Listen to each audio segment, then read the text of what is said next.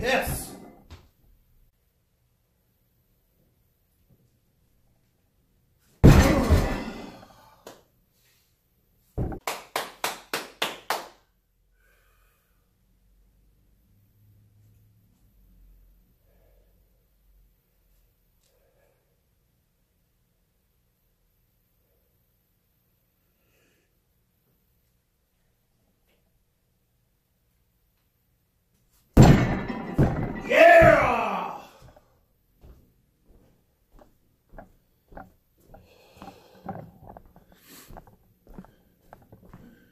Hall 24 kilogram blob Sorinex inch dumbbell.